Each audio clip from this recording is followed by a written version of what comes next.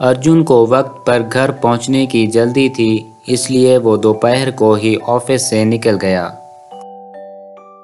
उसका अंदाज़ा यही था कि शाम होने से पहले पहले वो अपने घर पहुँच जाएगा। मगर एक वीरान जगह बस ख़राब हो गई। पहले तो ड्राइवर और उसका मददगार खुद ही बस में होने वाली खराबी को ठीक करते रहे, मगर जब उनसे खराबी दूर ना हुई तो ड्राइवर ने अपने मददगार को पुकारा। राजू जाओ किसी करीबी कस्बे से मैकेनिक को बुला कर लाओ। ठीक है उस्ताद। देखो जरा जल्दी आना हमें रात से पहले यहाँ से निकलना है। बस के ठीक होते होते शाम हो गई। जब अर्जुन अपनी मंजिल पर बस से उतरा तो रात का अंधेरा गहरा हो गया था। ओह खुदाया आज तो बहुत अंधेरा है मैं क्या करूँ? अर्जुन ने डरे हुए अंदाज में कहा गाँव तक पहुँचने के लिए उसे एक कच्चे रास्ते पर तीन किलोमीटर तक पैदल चलना था। और उस रास्ते के लिए मशहूर था कि रात गए यहाँ आदमखोर चुड़ैल का राज होता है। पर मरता या ना करता उसे ये रास्ता बहरहाल तय करना ही था। अर्जुन अर्जुन। अर्जुन को पीछे से सरगोशी सुनाई देती है तो अचानक उसके पीछे एक चुड़ैल आ जाती है। वो उस पर झपटी तो वो चीख कर भागा। उससे तो जैसे भागा ही नहीं जा रहा था। और फिर अचानक चुड़ैल उसके आगे आ जाती है और कहती है, कहाँ जा रहे हो? तुम्हें पता है, ये मेरा इलाका है। मुझे मालूम है मैं दिन में यहाँ से गुजर जाता लेकिन मेरी बस खराब हो गई। बस बस खराब नहीं हुई थी मैंने कर दी थी। उसी वक्त कई लोगों के बोलने की आवाज़ें आने लगीं। तीन चार लोग उसी तरफ़ ही आ रहे थे और चुड़ैल ये देखकर गायब हो गई थी। अरे तुम यहाँ अंधेरे में क्यों खड़े हो? करीब आने वालों में से एक ने कहा और अर्जुन उसे पहचान गया था। अरे भाई यहाँ अभी एक चुड़ैल ने मुझे रोक लिया था। वो तो मुझे ले जाती कि तुम लोग आ गए।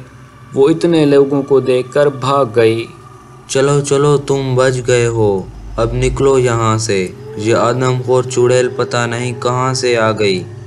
और इसने सारे इलाके के लोगों का जीना हराम कर रखा है। कितने ही लोगों को खा चुकी है। इसलिए हम अकेले सफ़र नहीं करते। वो लोग कुछ ही दूर गए थे कि एक जगह उन्हें रास्ते में बहुत सारी हड्डियाँ पड़ी नज़र आईं। यूँ लगता है जैसे इंसानों की हड्डियाँ हों। हाँ और ताज़ा भी लग रही हैं। पता नहीं किस बेचारे को खाया होगा इसने। शुक्र है तुम लोग आ गए वरना मेरा भी यही हाल होता। आदम्भू आदम्भू और उसी वक्त दूर से चुड़ैल की आवाज़ सुनाई दी। वो सब डर कर गाँव भाग गए। चंद रोज़ बाद गाँव के धोबी घाट से एक औरत कपड़े धो रही होती है कि अचानक वहाँ पर चुड़ैल आ जाती है और उसे उठा कर ले जाती है। दूसरे रोज़ गाँव के लोग एक जगह जमा हुए और उन्होंने चुड़ैल से निजात हासिल करने का मंसूबा बनाया। हमें अफसोस है उस औरत के साथ जो भी हुआ अच्छा नहीं हुआ। वो किसी और के साथ भी हो सकता है। हाँ ऐसा ही है। अब तक ये आदमखोर चुड़ैल कई लोगों को खा चुकी है। हमें किसी न किसी नतीजे पर पहुँचना होगा। उन्होंने तय किया कि दो दिन तक कोई भी अपने घर से बाहर नहीं निकलेगा। इस तरह चुड़ैल को उसका शिकार नहीं मिलेगा और वो भूखी रहेगी, जिससे इसकी ताकत कम हो जाएगी। फिर वो उसे आसानी से ज़ेर कर लेंगे। दो दिन बाद वो रात के अंधेरे में बाहर आए थे और ख़ामोशी से गाँव के उस हिस्से की तरफ़ चलना शुरू कर दिया था, जहाँ मैदान के आखिर में एक बहुत बड़ी खाई थी। रामू भाई, तुम दरमियान में रहना, हम तुम्हारे दाएँ बाएँ चलेंगे और जैसे ही चुड़ैल करीब आएगी, सब तेज़ी से भागेंगे। भूखी तो वो है, हमें पकड़ने के लिए पीछे आएगी और तुम्हें मौके से फ़ायदा उठाना होगा।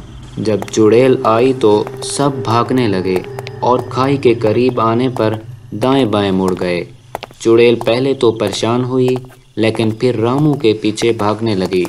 चुड़ैल रामू को पकड़ने ही वाली थी कि वो एक साइड पर हो गया, और चुड़ैल अपना तोज़ुन बरकरार ना रख सकी और अपने ही ज़ोर में लुढ़कती हुई खाई में जा गिरी, और यूँ उस गाँव के लोगों को आदम आदमखोर चुड़ैल से निजात मिली थी, और फिर वो हँसी खुशी ज़िंदगी गुजारने लगे थे।